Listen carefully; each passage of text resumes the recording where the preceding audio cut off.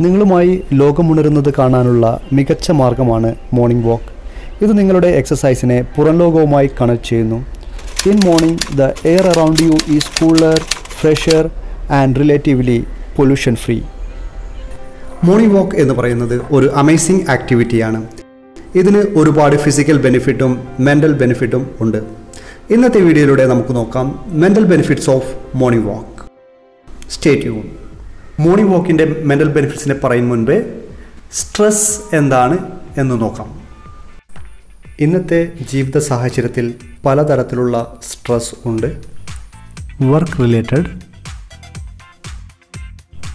money related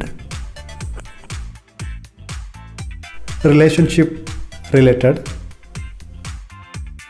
നമ്മൾ stress അനുഭവിക്കുമ്പോൾ ശരീരം ഒരു ഹോർമോൺ പ്രൊഡ്യൂസ് ചെയ്യുന്നു.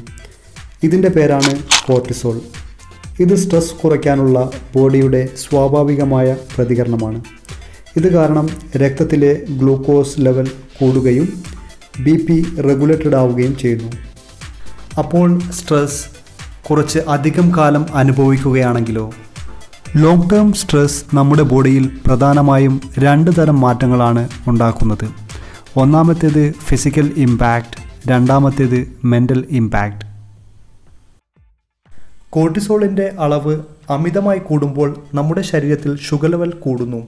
ഇത് കാരണം ബോഡി വെയ്റ്റ് കൂടുകയും പതിയെ പ്രമേഹ രോഗം നിങ്ങളെ കീഴടക്കുകയും ചെയ്യുന്നു. കോർട്ടിസോൾ ശരീരത്തിൽ വളരെ കുറയുകയാണെങ്കിൽ മസിൽ വീക്ക്നെസ്സും വെയ്റ്റ് ലോസും ഉണ്ടാവുന്നു. സ്ട്രെസ് ലോങ് ടേമായി അനുഭവിക്കുകയാണെങ്കിൽ മാനസികമായി depression anxiety sadness emptiness lack of concentration എന്നിവയ്ക്ക് കാരണമാവുന്നു. മോർണിംഗ് വാക്ക് ചെയ്യുമ്പോൾ നമുക്ക് ഒരു ഹൈ എനർജി ഫീൽ ചെയ്യുന്നു. ഇത് ശരീരത്തിലെ രക്തപ്രവാഹം കൂടുന്നത് കൊണ്ടാണ്. അതേസമയം ശരീരത്തിൽ രണ്ട് ഹോർമോൺ കൂടെ പ്രൊഡ്യൂസ് ചെയ്യുന്നു. ഒന്നാമത്തേത് ഡൊപ്പാമൈൻ രണ്ടാമത്തേത് എൻഡോർഫിൻ ഇതിനെ ഹാപ്പി ഹോർമോൺ എന്നും പറയുന്നു.